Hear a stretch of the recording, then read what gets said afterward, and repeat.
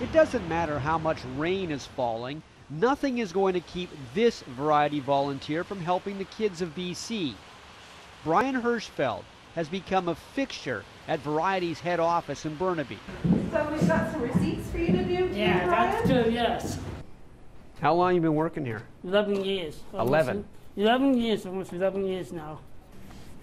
Then you must know everybody here. Yes, everybody. And he can prove it with Yeah, an impromptu guided Yeah. tour. Christine, Yes, Brian.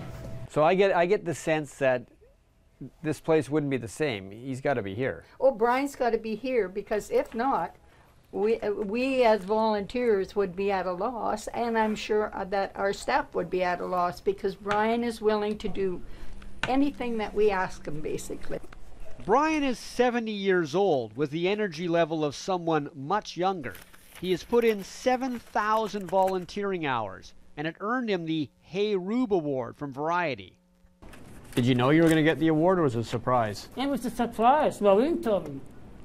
How happy were you when you got it? God, I was feeling happy.